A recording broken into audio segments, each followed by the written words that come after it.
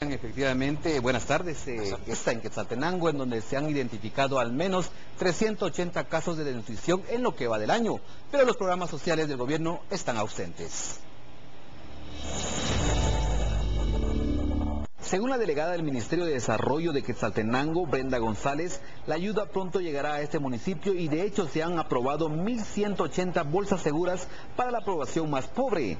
La ayuda gubernamental estaría llegando hasta finales de junio, de acuerdo a la programación de trabajo de la cartera. La entrega de fertilizantes también se ha programado a mediados de junio según el FONADES, ya que por el momento la distribución se ha concentrado en la región central de Quetzaltenango. Asimismo, las autoridades locales están realizando los trámites correspondientes para que se instale un comedor seguro en este municipio, en donde los niveles de pobreza son alarmantes.